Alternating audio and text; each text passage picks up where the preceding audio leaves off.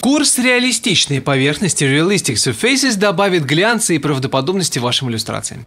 В этой серии объясняются два подхода к созданию деталей. Первый ручной, а второй использование фотоколлажей.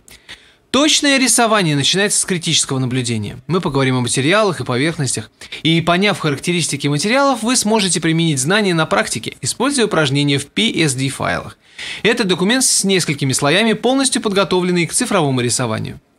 Каждое из семи занятий преследует конкретную цель и фокусируется на простых и повторяющихся техниках. Если вы хотите повысить качество поверхности на своих изображениях и свой навык работы с ними, то вы сможете найти этот новый курс на сайте магазина controlpaint.com.